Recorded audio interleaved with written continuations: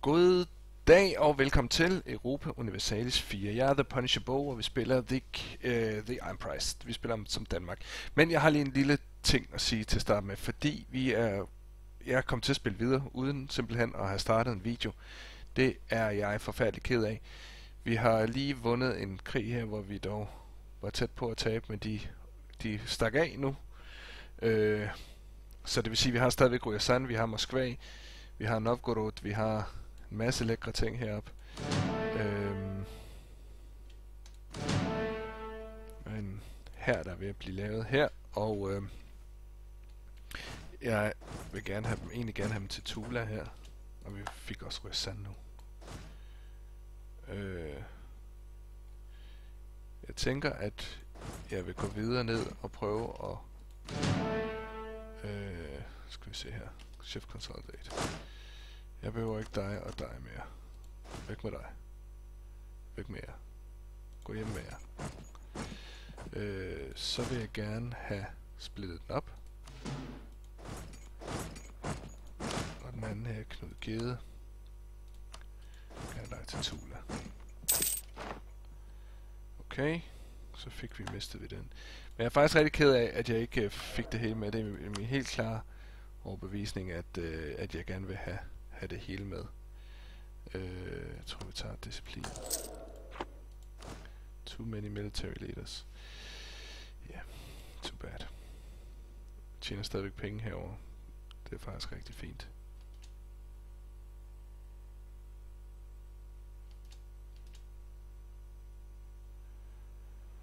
Godt.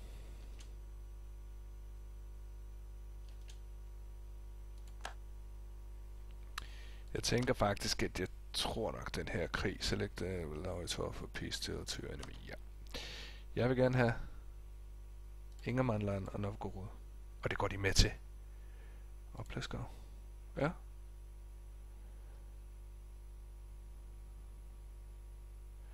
Øh, skal vi lige se her. Pleskov. Luki, Novgorod, Ingermanland. Kan jeg få dem? Det ville fandme være cool. Og Lukios. Lukios. Det er tre forts, plus vi kommer ind i kerneland, plus vi får en opgård. Og øh, War Reparations. Kan vi få War Reparations, fordi så vil jeg gerne have det, hellere have det end, øh, en rigtig penge. Sådan der. Øh, null treaties. Er det den? Nej, release stations, nej. 30.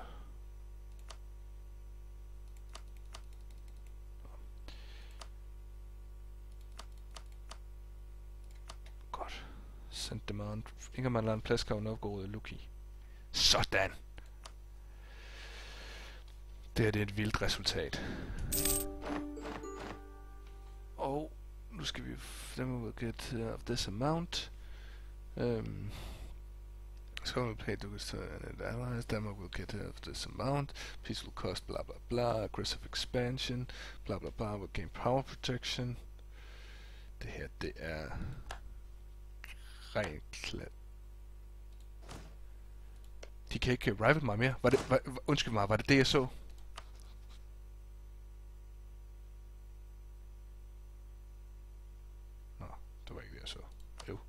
Jeg håbede, det var det, jeg så. Altså, det her, det er et fantastisk resultat. Jeg fik indtaget de tre forts, som de har i det område her. Øh, de har godt nok også et i Jaroslav herovre, Moskva og Ryazan hernede. Men det er intet problem. Øhm, skal se, detach dem her. Kan jeg slå dem ihjel? Det kan jeg. Godt. Her, detach. Jeg slå dem ihjel, det kan jeg også godt. Der, nej. Der, nej. Hjem med resten af herrene. Hjem til nærmere med dem. Og så siger jeg lige, at jeg gerne vil mothball alle samtlige forts. Mothball all forts. Yes. Og nu skal jeg ind lige ind og se på, om der er nogle af dem her, som jeg rent faktisk har brug for mere. Øh, gerne beholde det i Königsberg. Øh,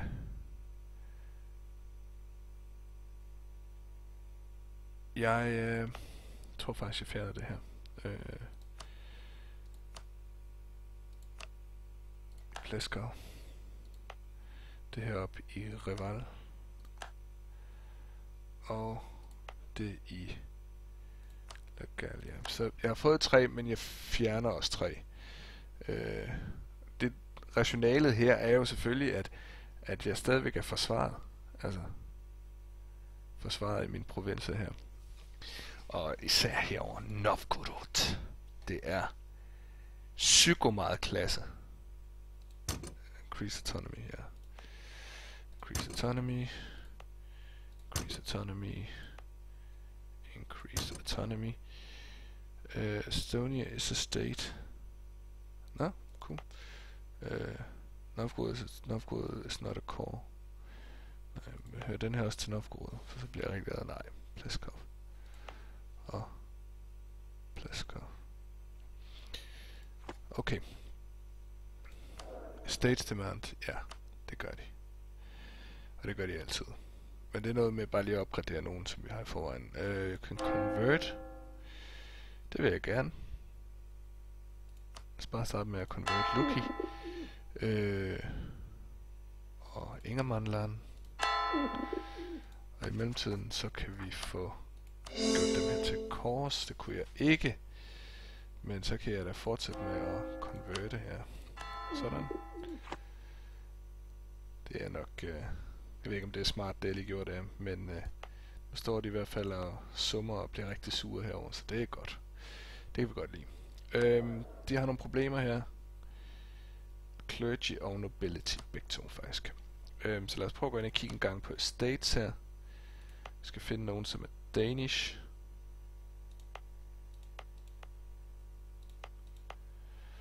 Øh...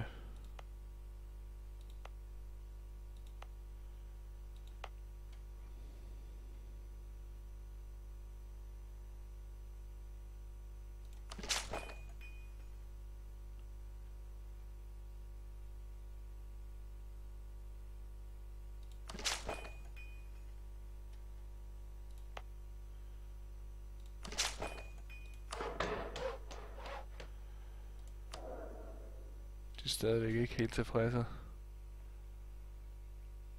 Respect to control at least. Ja. Nobility.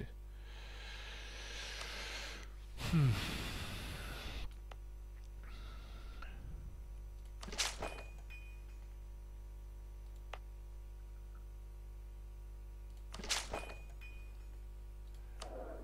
Nobility er ikke glad endnu, eller hvad? Nej. Men er det ikke Total Development, der, der bestemmer det?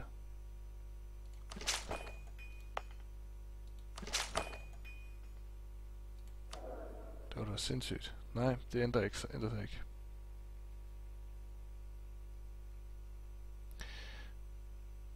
Control of the State Development. Nå. Det må vi lige kigge på om et øjeblik. Måske forstår jeg slet ikke det her spil. Ja, Looming Disaster, ja, I know. Nå. Jo, jeg skal bare have lidt tålmodighed, kan jeg så se på det hele. Godt, så prøver vi at se nu, om det ikke fik det til at forsvinde. Det håber vi lidt. Trade Protection Against Poland. Jo. Det virkede. Godt. Koster så også alle mine militærpoint, men øh, det må jeg så leve med. Polen kan vi gode venner med. Og nu kommer integrerer vi snart øh, integrerer vi snart Sverige. Det gør vi i 30. Nej, 29. Vi er kommet længere ned, du. Cool. Øh, Ottoman Empire. Den vil jeg gerne så lidt op til. Improve Relations. Bum. De er stadigvæk i krig, kunne jeg se. Med Mamluk og ting og sager hernede. Sådan. Det var en ret vild krig for at tage tre provinser, men det beviste også bare, at jeg var Moskva overlegen med, med, med Polen. Altså hvis ikke jeg havde haft Polen, så havde jeg jo tabt det der. Sverige var også en stor hjælp selvfølgelig. Neva er den næste, vi skal have. Men altså, jeg er ekstremt godt tilfreds med, at jeg fik fjernet tre af deres forts. Det er virkelig det, der ødelægger det, når man skal ind og angribe. Og hele det her stykke heroppe ligger åbent for indtagelse nu. Øh, alle de her provinser her kan jeg også tage. Altså i det hele taget, så, øh, så er der ikke så langt ned til Moskva nu, som der var før. Der var ekstremt langt ned. Så det er en rigtig stor øh, bid humpel her, som jeg har fået, øh, fået taget. Gør noget ved. New draperies. Price of cloth. Changed by price of wool. Okay. Damn it. Øh. Har jeg ikke sådan en? Of commodities. Loot. Øh. Jo, trade goods. Har jeg wool? Nej. Har jeg cloth? Nej. Altså ikke lige meget. Jo. Lige lidt så får vi noget herovre. Fur. Goods, goods produced, ja. Jo, jeg havde faktisk wool. Gotland. Dammit. Nej, fisk derop. Cloth. Alle de her cloth producerende ting, det de er nok ikke utilfredse, skal vi sige det sådan. Nå, nu skal der gå noget tid, før vi øh, går i krig med dem igen. De er nok stadigvæk lidt utilfredse med os. de kan, de, man, de, man kan ikke hade os med, at de gør looming disaster. Hvad er nu det for noget? The Count's food. Recall diplomat. Regency Council. Oh, come on, bitches. No. Um, the Count's feud. Well, the fire must be true currently and have a religious unity of at least. Can be stopped by have Regency Council. Ja, det har jeg nu, så slap af med det der pjat der. L less religious unity than 90. Åh, oh, det er fordi vi er kommet under her. Yes. Godt. Det er bare noget med at få lavet de her omvendt de her spader med det samme. Royal Marriage for Polen, jeg accepterer. Royal Marriage for France, jeg accepterer. Hvad er det så, vi mangler? Kan aldrig huske. Royal Marriage fra Pomerania, selvfølgelig Pommern. Du, du, du. Marriage. Øh... Purple States. Ja. Altså, hold den ved lige er ret vigtigt. Så skal det bare gå noget tid. Ej, jeg, jeg, jeg er helt vild over, at jeg kunne vinde den her krig. Wow. Det er sandt. Jeg sidder bare og sover her. Øh, væk med dem. Mothball dem. Ups. Det er ikke mothball, det gjorde det ikke. Godt så. Og her er 4. 14. Lad os bare få sejlet herover. Øhm, Christopher Lutzau.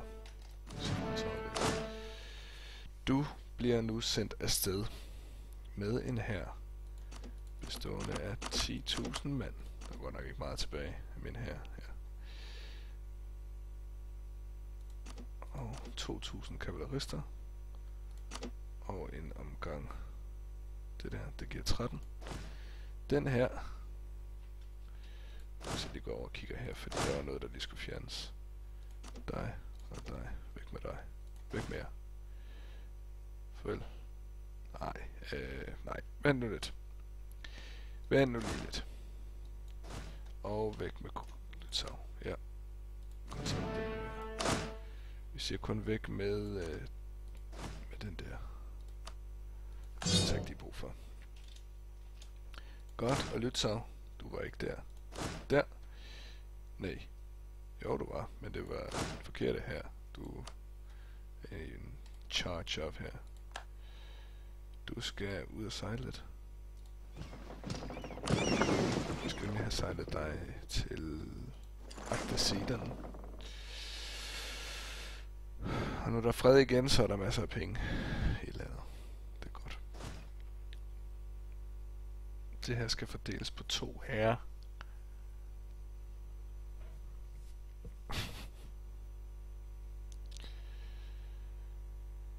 Jeg er i hvert fald stensikker på, at der skal købes 9.000 mand.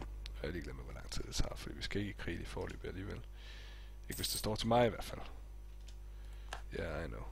I know. Øh, de er forhåbentlig ikke på vej til Akta Sidan. Nå, det er de. Eller ikke.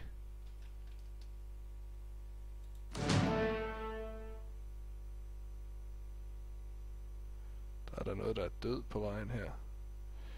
Øhm.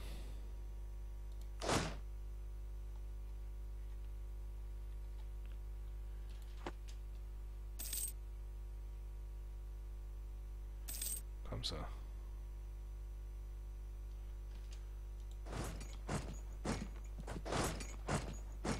Det er på vej til Bergenhus, ikke?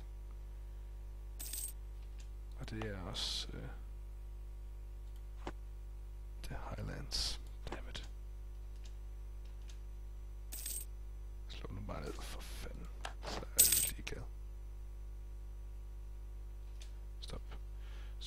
Clergy. Um, uanset hvad, så mister jeg stability også jo. Technology og missionary strength over technology. Ja. Og clergy på. I know. I know, I know, I know. Men til gengæld er der lige blevet sat speed på Ingermann Land og kompagni her. Øh, uh, consultant. Væk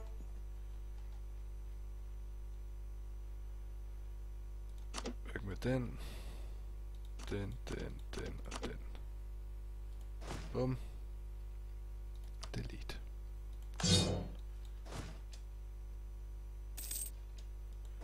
Og så går I bare til Agta Sita, fordi det er det, det klarer svenskerne for os.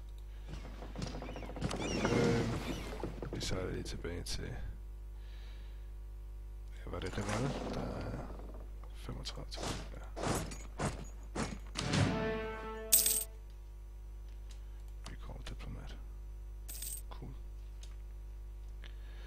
Hvem skal vi ellers blive gode venner med? Lad os bare blive gode venner med Georgien. Vi hader jo alligevel uh, Moskva. Hmm.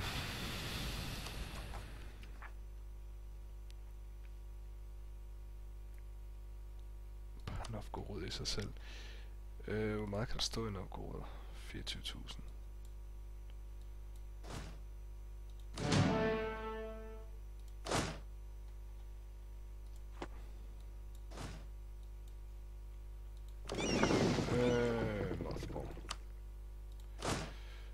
Shift Consultant.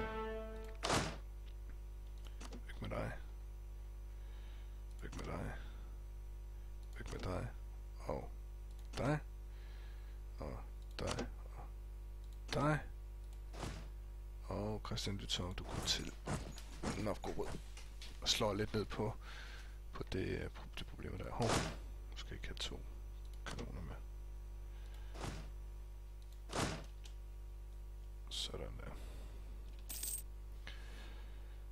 også nogle problemer med... Jeg tror, vi skal have bygget flere.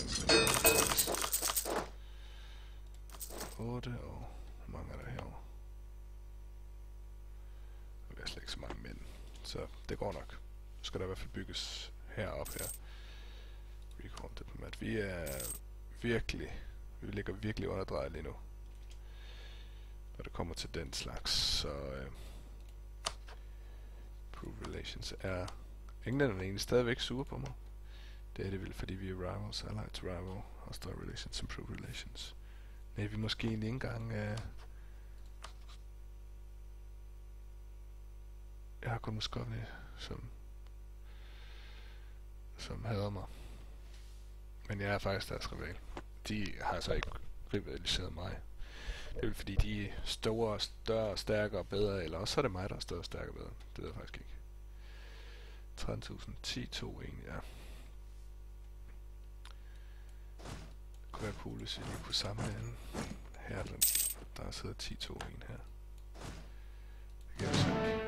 Der er ikke nok.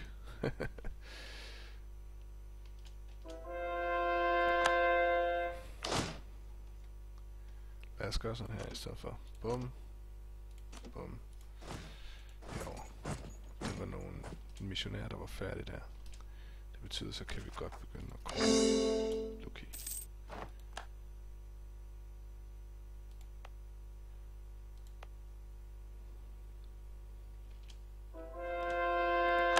give Ja. Også nice. Så mangler bare Pleskov. Men det må også give noget... Øh, det må også give noget... Hvad hedder sådan noget? Det hedder... Religious Unity, ikke? Øh, den er på 90 nu, så det vil sige, at kan vi ikke få grevens fejde. Uh, nice. Og så lige om lidt, så går vi i gang med at få gjort den til... Øh, hvis vi kan få gjort den til katolsk. Det håber jeg lidt kan lade sig gøre, må jeg sige. Øh, så nu går jeg ind og kigger på trade nu.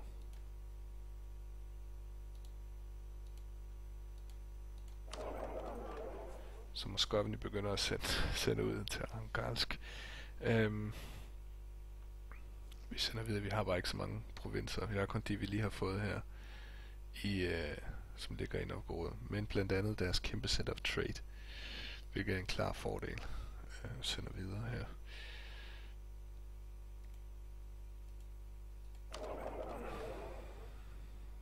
Og vi tjener altså godt. Det gør vi. Ah, vi tjener ikke helt så godt, som vi gjorde før, men det er fint. Super. Nå, I skal i hvert fald have mange tak, fordi I kigger med i dag. Smid et like, hvis I synes om det, vi går og laver. Subscribe kanalen, hvis I vil vide næste gang, der kommer et nyt afsnit. Tak for i dag.